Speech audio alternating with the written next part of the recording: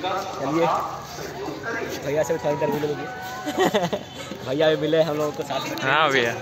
Train में साथ में मिले थे दोबारा मिल गए हैं। हाँ। बहुत ही अच्छा लग रहा है। चलो। और पूरी? अच्छा। अच्छा है।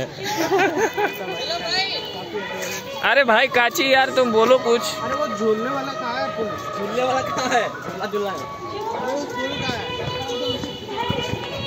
ए भाई खड़ा हो जाओ। अरे भाई खड़ा अंकित